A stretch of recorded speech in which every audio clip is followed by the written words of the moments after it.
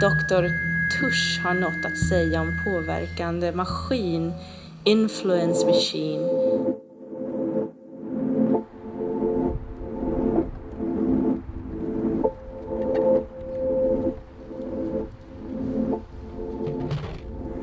I'm in a park in um, the University of Stockholm getting ready to do the influence machine. it's very cool. One of the things I really love about the influence machine is that what you're seeing at the moment may never be seen again in, a very real way because there's projections on smoke and trees and the grass and buildings and so forth. And the way these things combine, the way the wind moves the smoke, and the smoke um, kind of stretches the images in different ways. Um, so there's a kind of reading which is a kind of heightened sense of the moment, which I really love about it, and that as people move through it, um, they're able to pick that up. When technologies kind of first happen, there's a there's a kind of magic moment where they're not fixed. And I became kind of fascinated with that. So like I kind of grew up in the multimedia milieu in a kind of um, pop cultural setting, as we all do, which was saturated with uh, technology, radios, telephones, TVs, cinemas. And of course, that's what I gravitated to, but I also was very interested in painting and the history of painting. Uh, not really thinking that some of these other technologies could be used to make art.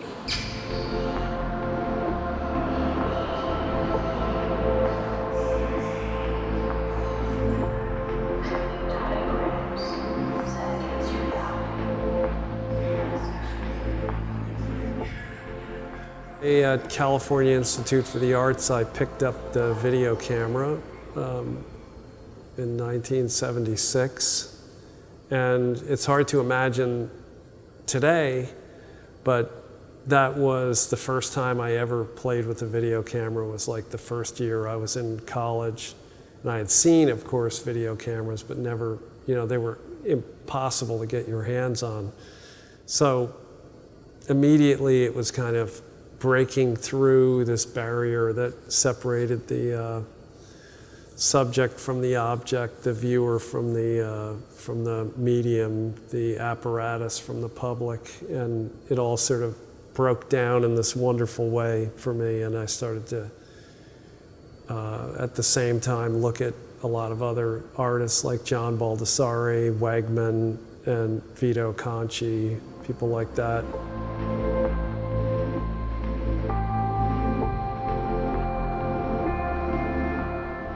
So I picked up the video camera and immediately saw that it was a kind of transitional space between um, what was around me and the physicality around me and what I was making.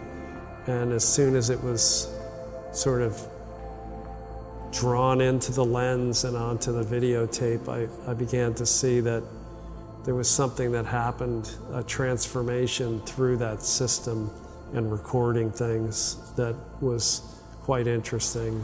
So, yeah. But if, say, if someone comes out here,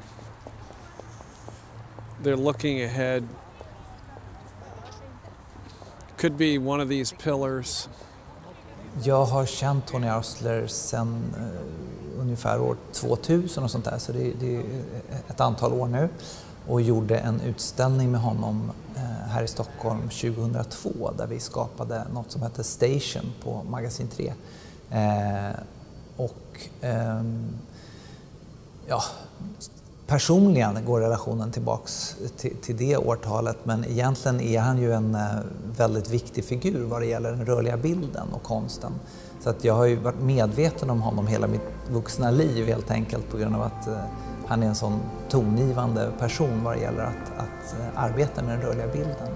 Så att eh, han, han gjorde ju sina första verk, då, då var jag ju barn, men, men så här mitten på 70-talet, så när jag började bli medveten om konst och, och väldigt intresserad av det så var han en figur som man hela tiden stötte på på museer världen över. Och på grund av det, när jag väl själv fick möjligheten att börja göra utställningar så var han en av dem jag absolut först gärna ville jobba med. Så att eh, utställningen eh, Station som jag gjorde med Tony var eh, en, i alla fall en av de första jag gjorde när jag hade möjlighet att jobba på, på lite större skala och, och göra utställningar eh, där man producerar ny konst och sådär.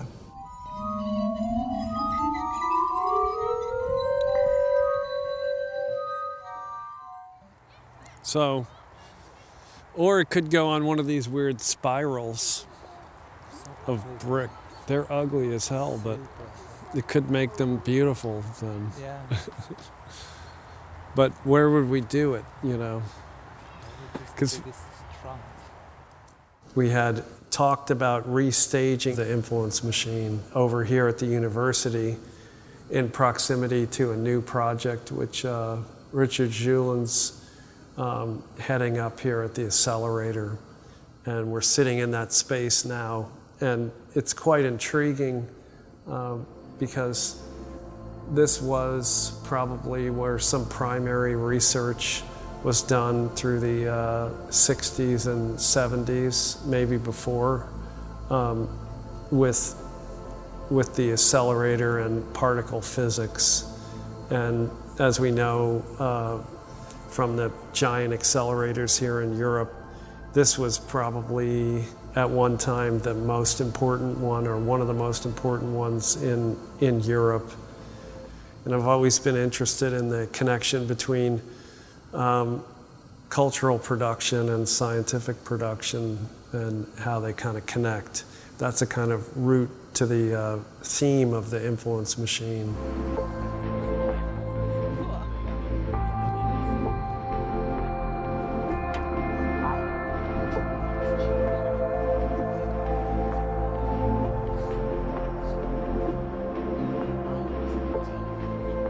So this is this one is key. It's gonna pan all the way around. Look at that. It even goes in that distant one, like way above the uh, cafeteria. So this one's key. Who wants to work the key one here? You want to do it? Yeah, Okay. I can do it.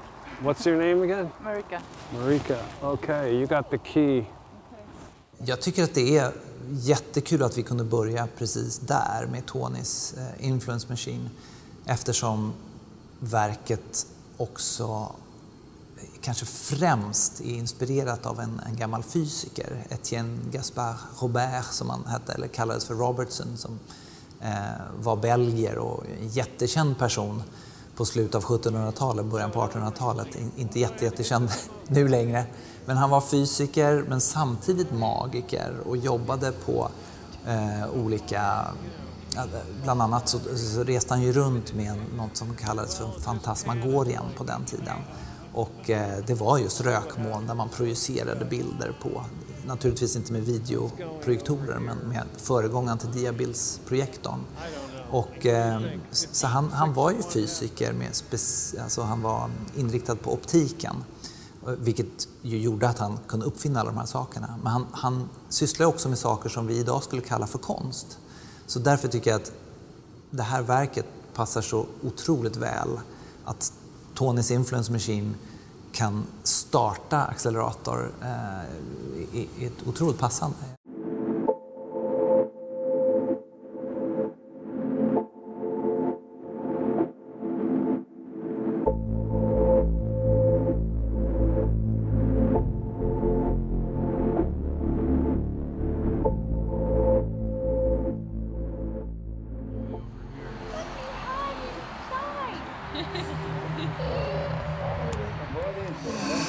Influence Machine.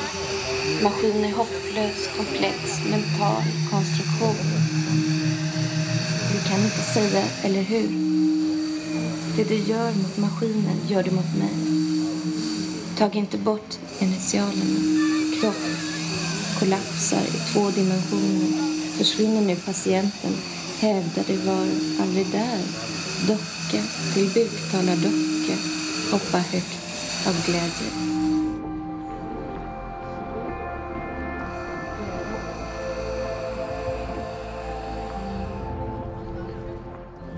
I'm going to kill you. I want you to know this. Det är mörkt här inne. Kom ut, kom ut ur mörkret. Du kan se mig. Du kan se rakt igenom mig. Jag är inte här. Du är inte här. Givare av ljus. Trick, trick. Invisible. All of this stuff is cool coming out. Jag går nog mest runt och så här flinar lite och ler och tycker det är ganska lekfullt och kul. Även lite så här haunting på ord på svenska liksom. Men ja, det är spännande, det är en bra blandning av saker. I think it's interesting that it's merging uh, nature with this sort of uh, speaking and sort of uh, panoramic uh, immersion of um, sensibility. Yes, good transmitter, transmitter, transmitter, transmitter. I've got a vibration here, man, and it wants to make contact. Dels tycker jag att Tony Örslers verk, The Influence Machine, är ett fantastiskt verk och otroligt spännande. Vi befinner sig just i skärningspunkten här mellan eh, konst och vetenskap genom att han eh, utforskar tidiga vetenskapsmän och uppfinnare som samtidigt eh, har intresse för eh, magi och för eh, eh också på den tiden avancerade utställningspraktiker som fantasmagorin.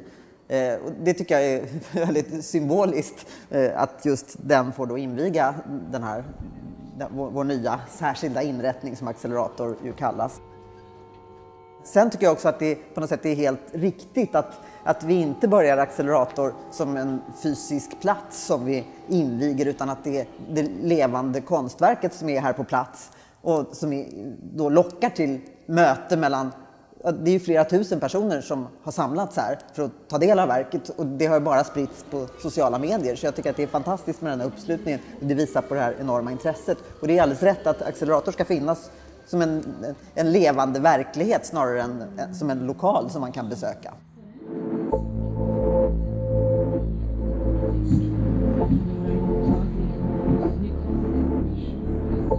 Whenever you pick up a video camera and you start thinking about the right way to frame me for an interview, that there could be a close up, medium shot, long shot, and that kind of language.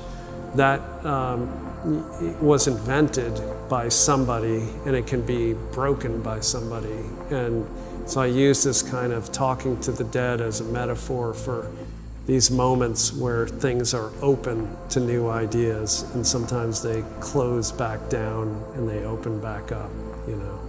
So the internet opens up at a certain point and then Google locks it down, you know, and this happens time and time again uh, with technology.